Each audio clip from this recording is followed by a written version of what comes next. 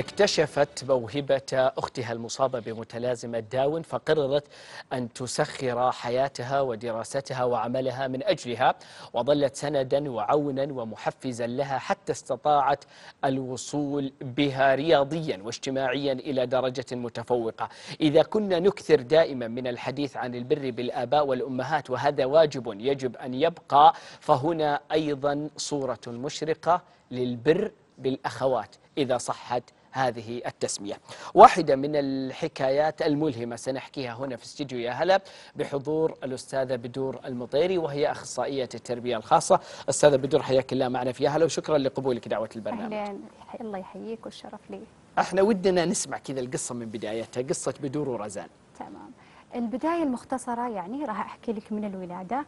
البداية المختصرة كانت كأي أسرة. يجيها طفل ذوي إعاقة كانت صدمة. لكن الحمد لله أنا وأهلي تقبلنا الإعاقة بسرعة. ما كان في صدمة استمرت.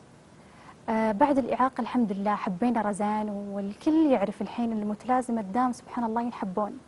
يعني بتصرفاتهم بضحكتهم الدائمة برقصهم بأساليبهم الحلوة فالحمد لله لك يا رب. أبدا ما وقفنا عند الصدمة مشينا كملنا حياتنا. ما دخلت للأسف رزان مدرسة من بدري. هذه أحد الأسباب عفوا ليش؟ المنطقة اللي كنا ساكنين فيها للأسف ما كان فيها مدارس يعني قليلة جدا و وما لم يتم قبولها يعني ما عمر كان فيها متأخر. مدارس متخصصة لل...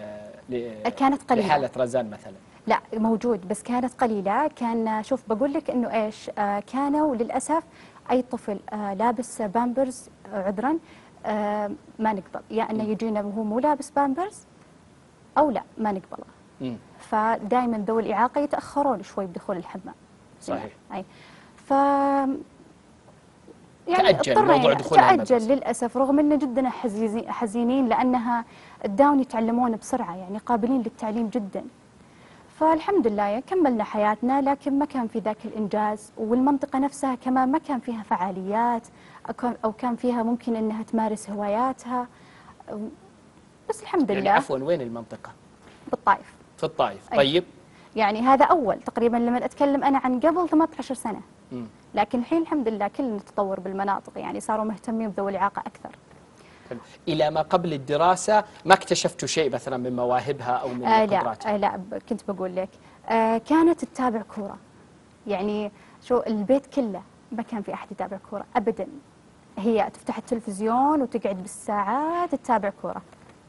فكان هذا أول جذب انتباه لنا إن حتى لما نوديها الألعاب ما كانت ناظرة الألعاب الثانية.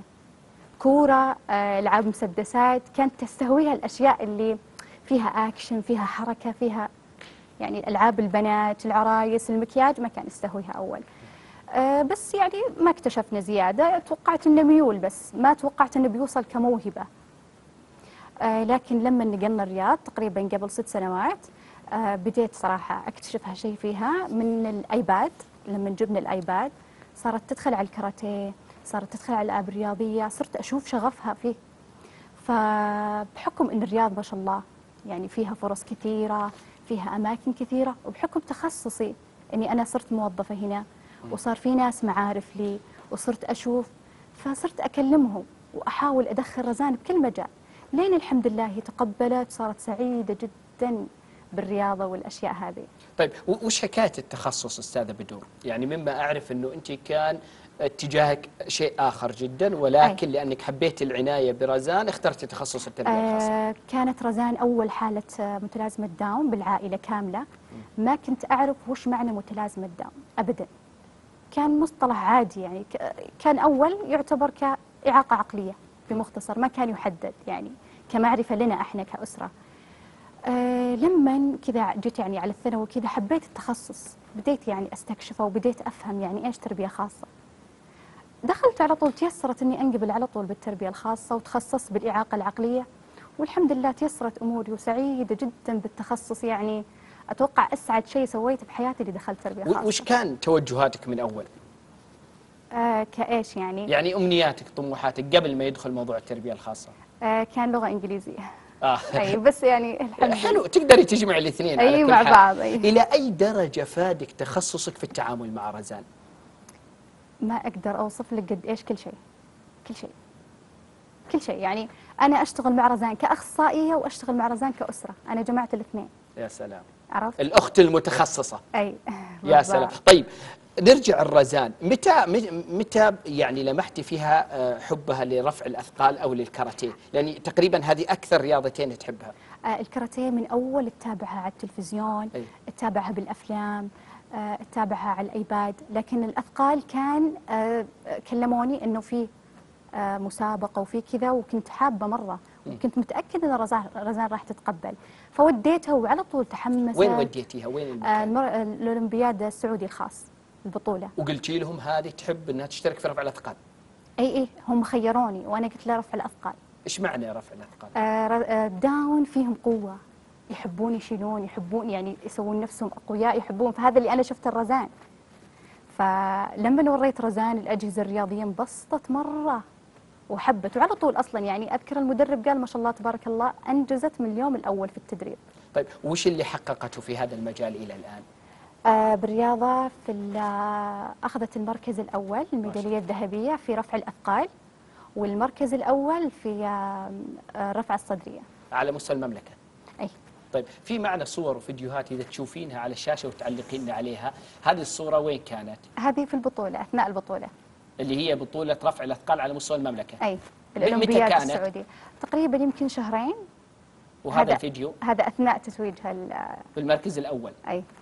بالميداليتين طيب كيف كيف- انعكس هذا النجاح على على الحالة مثلا النفسية والاجتماعية الرزان؟ أنت قريبة وتقدر تقيسي. آه، صارت تحس إن لها موهبة. تحس إن لها يعني صارت ما تحس إنها مبهمة آم، يعني شخص عادي. زي ما أنا للأسف أشوف ذوي الإعاقة مجرد إنه يروح المدرسة يرجع البيت. أكل ونام وخلاص انتهى الموضوع. لا رزان صارت يعني لدرجة إنها صارت آم، يعني عندها آه، خلاص صارت تبني شخصية في آه، عقلها. تاخذ المويات العلب الصحة تقسمهم فريقين. يعني مثلا خمس علب لونها أزرق وخمس علب لونها أبيض. تصفهم خلاص هذه لعبتها الدائمة. وتسولف على أساس إنهم كاراتيه. فيوقفونهم صف هنا وصف هنا وفي اثنين يتضاربون. آه، الكاراتيه؟ دخلته الحين ك ك كلعبة كاحتراف ولا لا؟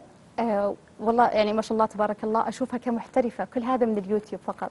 آه يعني للأسف إيه. إيه لكن الأثقال لا كلعبة خلاص لا. تدخل وتتمرن اي لعبة بس يظل الموضوع فيه نقص من ناحية انه ما في تدريب دائم مدى الحياة هذا كان تدريب لفترة معينة على البطولة طيب وش اللي. يمنع إنها تلتحق فيهم باستمرار؟ للأسف ما في آه ما فيه آه مكان متخصص نسائي لذوي الإعاقة اجمالا كل الإعاقات ما في. ما في. لا ممكن يعني ما أدري ممكن يكون في للإعاقة البصرية الاعاقه الحركية ما أدري أنا أتكلم ممكن على الإعاقة العقلية ومتلازمه داون إلى الان. البنات إيه؟ أعمار كبيرة ما في يعني رزان لما دخلتها؟ ترى كان أغلبهم شباب يعني حتى المدرب حقها صح ان الله يسعده ما قصر وكلهم كانوا متعاونين وأنا كنت معاهم أصلا في التدريبات أي. بس آه، يحتاجون فريق نسائي يعني يحتاجون أحد يحركهم يساعدهم يدربهم. فللأسف ما في. والكاراتيه خصوصا هي تعشق الكاراتيه أكثر من أي هواية ثانية. كم كم عمر رزان ما شاء الله الآن؟ 18 كيفها مع الدراسة؟ إلى وين وصلت؟ آه، الحين تدرس آه، في مركز رعاية نهارية في آه، تأهيل المهني. وماشية بشكل اي جيد؟ الحمد لله الحمد لله. طيب إيه، بما أنك قريبة منها يعني إحنا اللي يعني رزان ما تستطيع الحديث بس أنت تفهمي كل تعبيراتها. في في جواتها طموح معين هي حابة توصل له وتعبر لك عنه؟ آه، اي الكاراتيه يعني آه، شوف لما نتابع أفلام أي. تجيني على طول عند الفقرة اللي صار فيها الكاراتيه وتقول شوفي وعلى طول القاها مطبقتها ما شاء الله طيب قبل ما نختم الحلقة الآن علشان رزان تمشي في الكاراتيه وفي الأثقال، وش اللي تحتاجه هي والناس اللي في مثل حالتها؟ آه، اللي يحتاجونه هي والناس اللي مثل حالتها صراحة فريق أيوة. متكامل يخليهم يتدربون بشكل منتظم. بذكر مثال يعني صراحة مثال يحتذى به. آه، فريق دراجتي إذا عندك خلفية عنه آه، فريق دراجتي هذا فريق الأشخاص العاديين. سوى مبادرة آه، مع الأستاذ عبد العزيز المطيري. الله يسعده هو فريقه. صار في تدريبات لذوي الإعاقة يوم بالأسبوع. منتظم مدى الحياة. شوفي أنا بصراحة أتمنى إنه دعوتك هذه تصير على صعيد رسمي. أي هذا انه هو يكون مثلا وزارة الرياضة تتبنى هذا الموضوع وانه يكون في مكان لتأهيل الأشخاص ذوي الإعاقة النساء. متلازمه الداون النساء إيه. في مثل هذه الأمور لأنه هو موجود أكيد في يعني رجال كثير في بس نسائي ما في طيب. يعني فريق متخصص خلينا نوجه هذا المطلب على الهواء إلى وزارة الرياضة وإن شاء الله، طيب الله. قبل قبل ما ننهي هذه الحلقة إذا تسمحي لي أستاذة بدور وأنا تفضل. أستأذنتك في هذا الموضوع قبل الحلقة طبعاً،. إحنا حبينا إنه رزان تكون معنا في الاستديو لكن رزان يعني ما تتحدث فما حبينا إنها تظل كل الوقت موجودة معنا وهي صامتة وحبينا إنه ناخذ القصة كاملة من بدور لكن رزان الجميلة تفضلت علينا وقبلت إنها تحضر معنا في الاستديو. تعالي وبناديها تكون معنا هنا قبل ما نختم الحلقة وتشوفوها معنا على الهواء وعشان تحيونها من منازلكم جميعا لأنها اليوم آه، بطلة سعودية قادمة في موضوع آه، الأبطال من ذوي الإعاقة وبالذات من المصابين بمتلازمة داون. تعالي هنا. هذه رازان تشرفنا هنا في الاستديو. يلا قولي لهم هاي.